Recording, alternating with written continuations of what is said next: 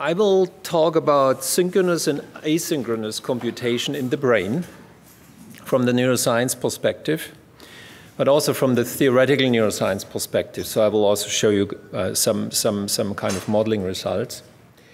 And uh, let me just briefly um, summarize. I mean, uh, in, in uh, usually in computer science, uh, um, uh, synchronous um, in synchronous logic, you basically um, have um, a, a, periodic clock signal, and the mm, kind of the computation is always triggered by the clock signal. And uh, of course, asynchronous uh, computation is kind of more event triggered, uh, is, uh, is basically characterized uh, by the absence of, of, of, of, a clock signal. That's just very roughly these two different categories. And, um, and now um, let's look in the brain network. And we have already seen here this, this network uh, before. So this is basically, um, let's see. So uh, what you see here is um, the result of an analysis of um, actually cortical-cortical connections, and it's actually using the COCOMAC database by, um, that was actually started by Rolf Kötter, a former colleague of mine. Um, and this is actually uh, um, work by Dharmendra. And um, as you can see here, and you cannot really see it, here's all the cortical brain regions. And you can see kind of the bundles of fibers going between these brain regions. And this is kind of the coarse view of, of, of the um, network that we are dealing uh, here with, of, of the, uh, the, kind of the, the, the computation network. And on the fine, uh, on the fine scale, of course, and this is also something you have already seen here, uh, we have um, the six-layered microcircuit of cortical uh, of, of, of, of, cortex, and you basically have very rich local connections here within these cells. And Valentin Braitenberg actually and, and Almut Schüz, uh, they kind of started uh, um, um, kind of a, a, field called quantitative neuroanatomy. So they really started to really count in detail, you know, how many in a, in a, in a let's say in, a, in the uh, cortex of the mouse, what is the percentage of local uh, excitatory connection versus uh, these uh, far, far-ranging fibers. And uh, the result of this, of this analysis is basically that most of the connections are local. And most of the connections are excitatory. And so, roughly speaking, we have here a network which is very different from a deep learning network. So, we have a very strong local connectivity, and it's an excitatory connectivity. And um, so, the question is now um, if we look actually in the physiology, um, do we see, is, are there hallmarks of, of clock signals? Um, and I mean, a clock signal is a periodic signal, and it's, it's very interesting that actually neural oscillations or neural rhythms were observed, not, I mean, not in the last century, but in the last but one century. In neuroscience, we have this funny situation that we stand on the shoulders of giants which come from the last but one century. And basically, it started in 1875, and then uh, Adolf Beck really um, examined without having access to, to, to electronic amplifiers. Uh, he found basically ongoing rhythms in, in brains and also uh, event-related um, potentials, basically. Um, so, uh, and of course, since then, uh, rhythms have been ob observed all over. They are in the periphery, they are in the retina, uh, they are in, in cortex. Um, there are actually um, uh, on, on many different uh, temporal scales. There are slow and fast rhythms. And um, in the 2000s, it became very popular to think in these rhythms in terms of, of communications between brain regions. And so there's actually this uh, interesting um, concept of the oscillatory hierarchy that kind of talks about nesting of different rhythms, um, and mainly for the purpose of communication.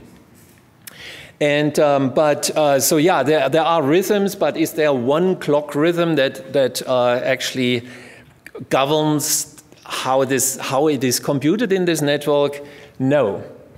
it's, it's, uh, it's a funny situation. So this is actually data from the lab of um, Emery Brown, and he's also an anesthesiologist. And what he actually um, did here is that he put basically a person to sleep with uh, propofol and woke the person up again. And uh, this vertical uh, bar is basically here uh, the, the uh, basically where the consciousness went away and came back again.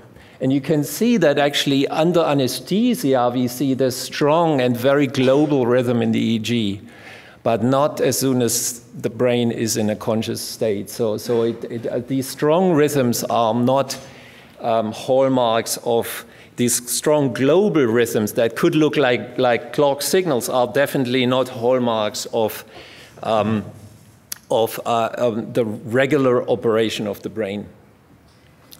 So uh, let me therefore focus now on uh, a, brain region uh, you have already heard about quite a bit, and this is the hippocampus.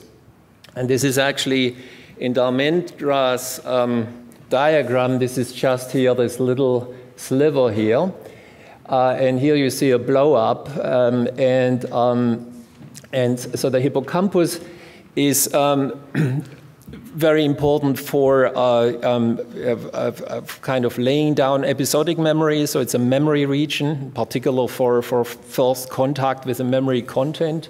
And it's also very important for navigation. And if you recall from a single cell here in CA1 or CA3, what you actually find is, play, uh, is um, uh, neurons that have place cells, which means that if you actually um, let a rat run through this hallway here and you make a dot of a certain color for one neuron, you will actually see that, for example, here this pink neuron uh, fires only in this part of, of the environment of the animal. And so you have other neurons that then eventually tile the entire environment of the animal. And so that is what you see on the single uh, neuron level. But of course, I have chosen this region because there is a very strong um, oscillation in the hippocampus during active um, behavior uh, of the animal. So during active voluntary behavior. So if the animal walks through the environment, if the animal uh, presses a lever or does stuff, then you actually see this rather regular rhythm here. It's about 10 per second, 10 hertz. And this is called the theta rhythm. And it's one of the strongest rhythms actually in the brain. You can actually see it if you uh, just take an electrode and go close to that region, you actually will see it. And, um, and so now um, the question is, of course, how does this structure the computation in this brain region? And um, now here's again a, a, a, actually a slide you already have seen. And um, what you see here on this side is that there are actually, so this is now basically multi-electrode recording from the hippocampus. So there, there are these colored um, electrodes here. And, um, and the, in the data, there were certain spike trains. So in, on each electrode, there, there were actually certain spike, spikes detected from neurons. And they are basically represented here just as raster, as, as rastergrams. And um, here they are solved by electrode. And you can see in the animal, and you can see here, this is its theta rhythm. So the animal is walking through the environment here. And you can see here that cells are firing. There are the, the, the green cells, the red cells, and so on. You don't see very much structure. If you look here on the right side, then all of a sudden you see here the structure, which is also emphasized by these ellipses uh, circled around them. So you see these so-called cell assemblies. So you saw this in Christos's talk yesterday. And so it seems, and so you can also see that actually these bursts of activity in, in different neurons, and they are here spread across the different uh, uh, electrodes. So they are not localized, they are spread out um, you can see that there are um, more, more precisely timed, uh, uh, basically, than what you would expect of, of um, so the, the, the, animal compared to this very short stretch of time, which is maybe a, second or so, the animal has not moved very far in the environment. So just by the outside pacing of the environment, you wouldn't expect a timing which is so precise here. And so, therefore, um, it, seems here from this picture that indeed the theta rhythm organizes the representations into these cell assemblies in, these, uh, in, in, in, the hippocampus. And that you basically can only see this after you reorganize the pattern, uh, basically the spike trains from here to here. And what actually Ken Harris, who produced this data, and, or actually who analyzed the data in 2003, he actually took it out of the trash bin of the, of the Buzsáki lab.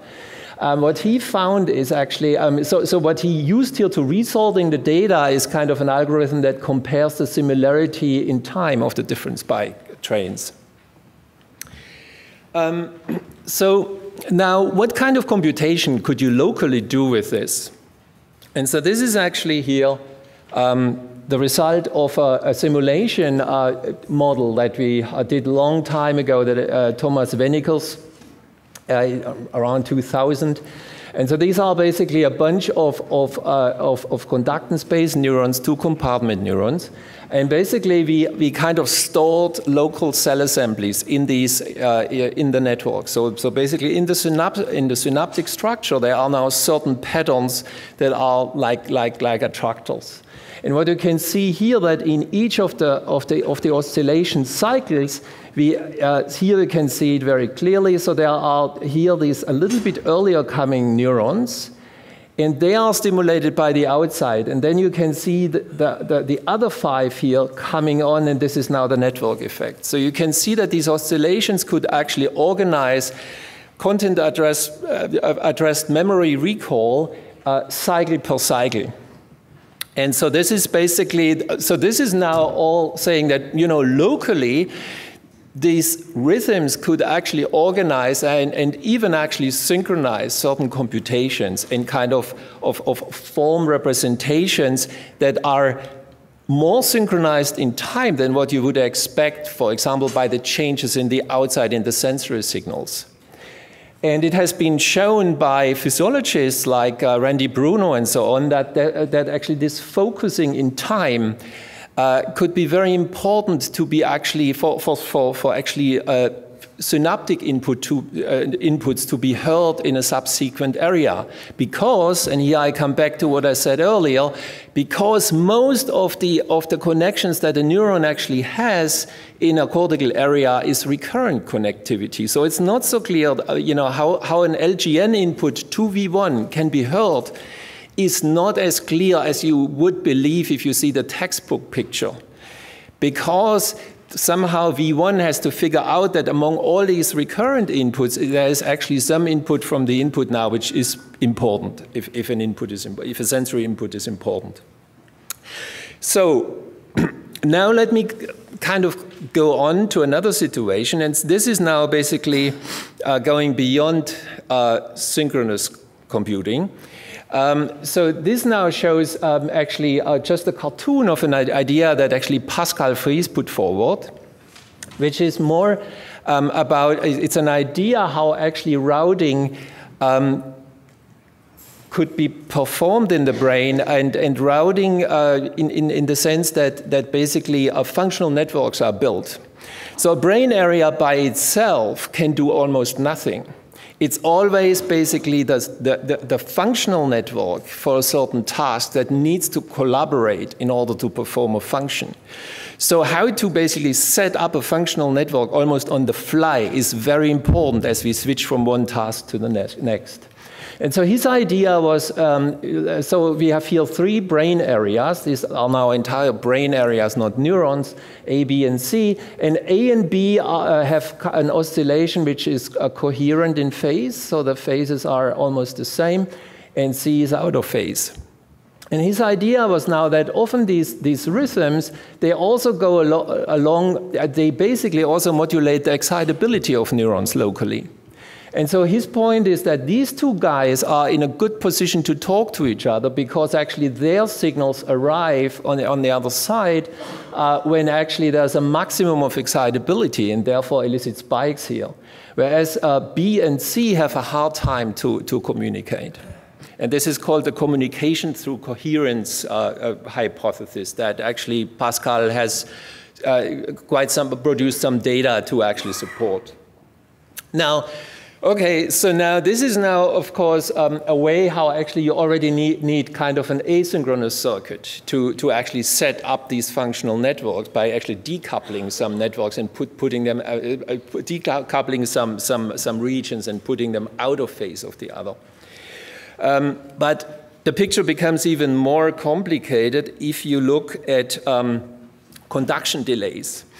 So this is actually, this is an old graph, it's not, yeah, it's, it, this is basically from Harvey Swadlow's work, and this shows you here, so on the x-axis is actually in milliseconds delays, conduction delays, measured by androm, uh, uh antidromic uh, stimulation, um, over basically it's just a histogram. So how often he just, um, um, in many cell pairs, he measured the conduction delay, and this is actually, I think, through the callosum. So this is not a, a local connection. This is really a kind of a long-range connection in cortex.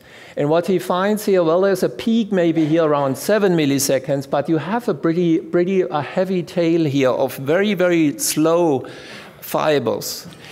And um, and it is not clear that uh, if two neurons fire together, that actually their, their, their signals arrive at some neurons they synapse to at the same time, given that you have this dispersion here of conductions.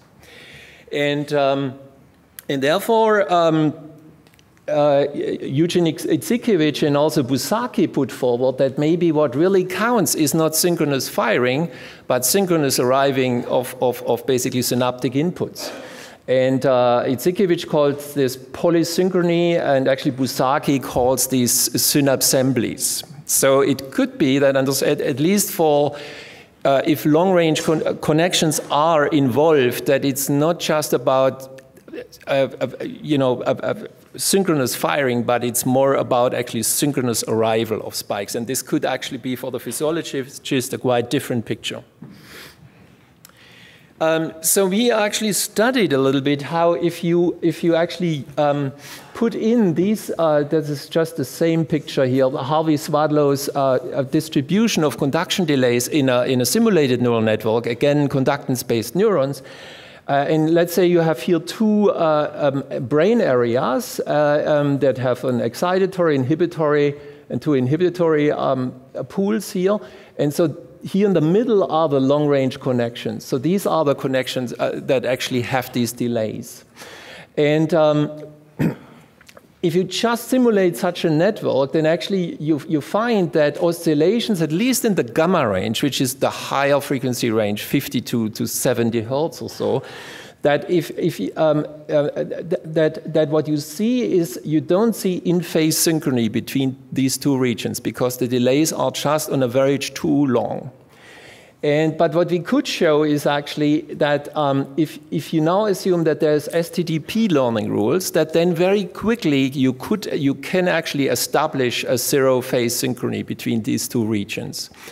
And so, um, but this is definitely, um, uh, conduction delays um, can, at, at, least for long range connections, definitely cannot be um, uh, neglected if you think about how actually the um, communication takes place in, in, the, in the brain network.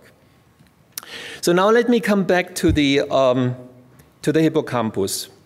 So um, in the hippocampus, there are these place fields. So there are two neurons, blue and red, and uh, they are in here are their spike trains. And you can see that uh, the animal walks here from red to blue, and red fires here, blue starts to fire here. But if you now actually uh, draw here, and this is, uh, um, this is just a, um, uh, a cartoon, if you draw here the theta rhythm, and you and you note here the, the relative phase of, of, let's say, the red spikes and the theta rhythm, you actually find that they actually advance in phase as you go from here to here. It's is maybe a little bit uh, small effect here, but, but basically this relative phase turns out to tell you something of where in the place field the animal is. And that's called phase precession, was actually uh, uh discovered by O'Keefe and, Recce. And, um, and so here we have now a situation where actually the, um, this relative phase becomes important. And um, there's also models that actually uh, showed, a, so there was a very simple model actually by, by John Hopfield in, in 1995, and he showed basically that if you have actually, a, let's say, a sensory input, which is just rate coded here, high rates here, less, less so here, higher rates here again, and now you have actually an oscillating neural network where, again, uh, the oscillation determines how excitable a neuron is then of course you will see that the, the strongest excited neurons fire first. And that basically in the latency of these spikes, you have basically an encoding of the strength of the sensory input. And um, so this could, could be a way how actually now the, um, this clock, this local clock signal does actually more than just um, um, organizing the timing and maybe the representation of cell assemblies, but could really have a function here in, for example, transforming a, a rate code into a latency code and things like that. Um, but of course, um, for a long time, people believed that actually this rhythm that you see here um, is the same, so that it's the same everywhere in the hippocampus. And that, of course, would then make make it easy to, to, to think about such schemes of what actually this oscillation could do for you computationally. However, in actually 2009, uh, Thanos Siapas' uh, lab actually showed that in the hippocampus, uh, the theta rhythm, which is really one of the strongest rhythm in, in the brains, uh, uh, in the brain, is actually not uh, is, is, is, has not the same phase independent of space. So this is this shows um, one depiction of the hippocampus where this is the spatial the, the septo uh, temporal axis. Don't worry about this right now, but basically he um, this is actually a, um, a figure from a follow-up paper from the Buzsáki lab, but they, they placed electrodes there and basically measured here the um, so on the x-axis, you have the relative distance here from this zero point along the, the septotemporal axis. So this is just this axis here, is on the x-axis here. And on the y-axis is basically the phase angle. And so you basically can see that as you wander along this axis, the phase angle just goes up by basically 180 degrees. And so this means that um, actually this um, phase angle is, uh, yeah, is, is, is, a, is a function of, of space. And if you look uh, at it um, in time, you actually see this. And this is basically where a project with actually Gautam Agarwal started, a former postdoc in my lab. So we basically asked the question, okay, um, so this is, so you see basically um, here, this is the anatomy of the of the of, of CA1, and you basically we had eight an eight by eight electrode array, and this is now again Buzsáki lab data. An eight by eight electrode array was here implanted, and so basically every point here on this plane, it's an eight by eight uh, grid. Um, and this is basically just um, um, depicts uh, the, the, the, signal strength, uh, uh, strength as a function of time. And this is, again goes, goes uh, 10 per second. so basically what we asked uh, with, with Gautam was basically, well, um, we know that there is relative place information uh, encoded if you know the spikes and you, you, you know the relative uh, um, uh, phase uh, to, the, to, to the theta rhythm. But can we actually, if we have a spatio-temporal structure of this uh, hippocampal wave, can we decode the behavior of the animal? Can we decode where the animal is in, in the environment? And this is kind of, uh, in, in, the hippocampus, is the decoding question difficult because there's no topography. So, so nearby place cells are not nearby in the hippocampus.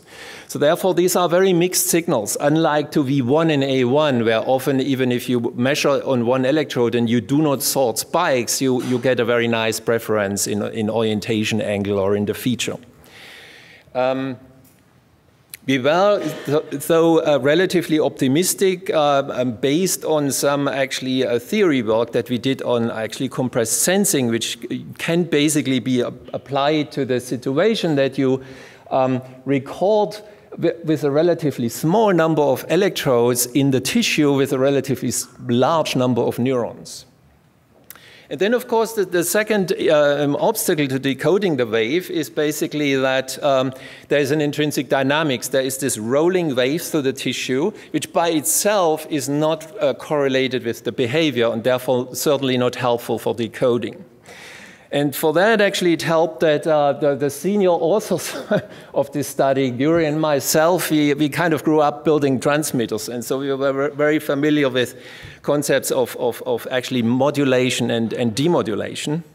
And so basically what we did is we um, took, um, so this is just um, the raw signal. So here are the channels, and uh, this is time.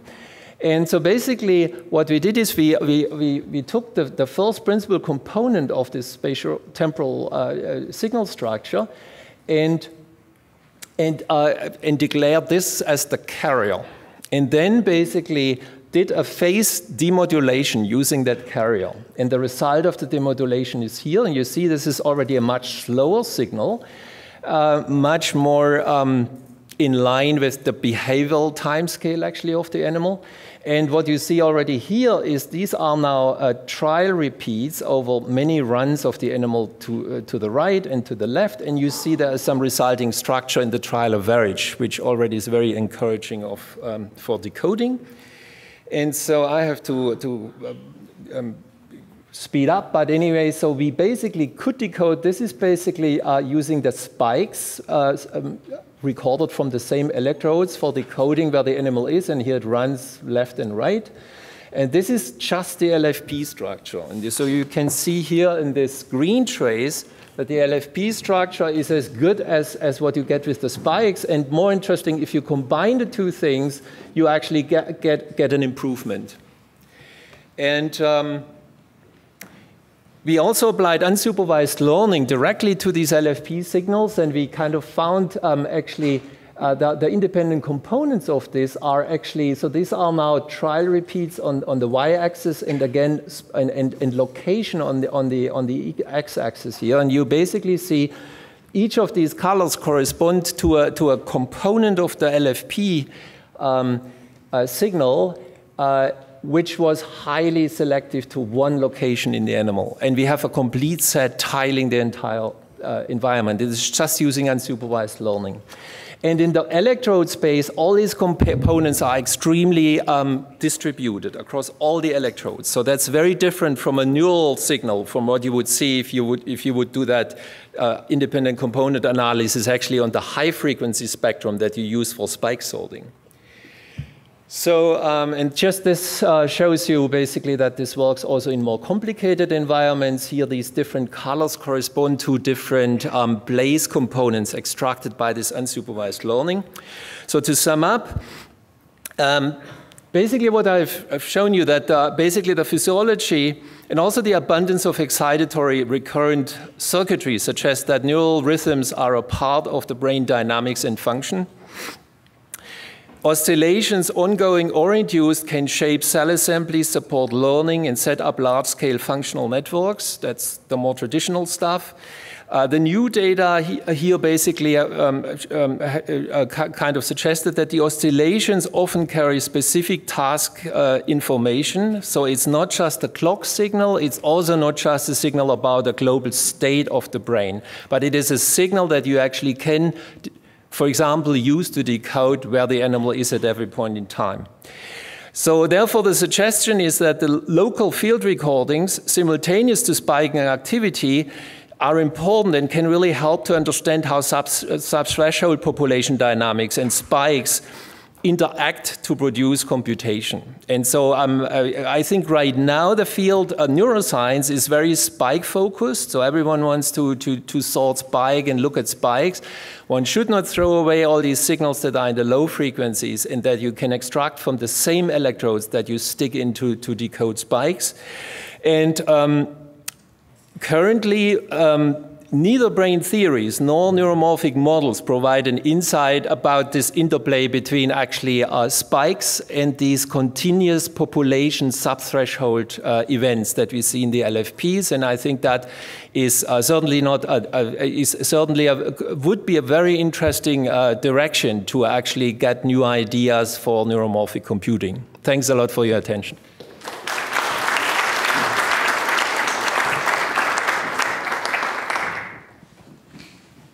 Uh, time for a quick question while Rajit sets up.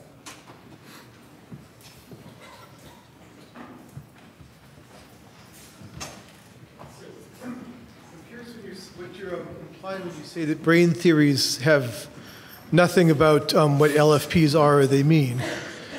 I mean, it's, uh, it's, it's been it's been pretty mainstream that they're, you know, this is the, the sum or the uh, weighted sum of distributed local driver currents um, with filtering and blah, blah, blah and details. But um, I, why isn't that counting as brain theory respecting what LFPs are and what they mean? Oh no, I'm, I'm I, absolutely. There are, of course, a lot of theories what these LFPs you know, how there, there is work, uh, some work on how these LFPs are composed and so on. But still, I think there is not much work that really relates. So, for example, how does spike, spike-based computing look in the presence of this, these structures? I think there is not much work. Uh, I mean, I'm happy to learn if you, if you have some work, but I think right now we don't have a good idea how, how these, this, I, I would say these, these analog processes, uh, these analog structures of the LFPs, they, they fit like a, a, a jig puzzle to the spiking, to the structure in the spikes. And we should understand this interaction between both. And I, I still th uh, think there is not much theory that tells us how we could use that for computation, uh, in, in, in, particular, uh, including the rhythms. So, so, do you think of the fields per se as being as being contributive to um, or just as evidence of synchronous activity among you know, regional neurons? Or is that a longer question that we should put off? Let's take it offline.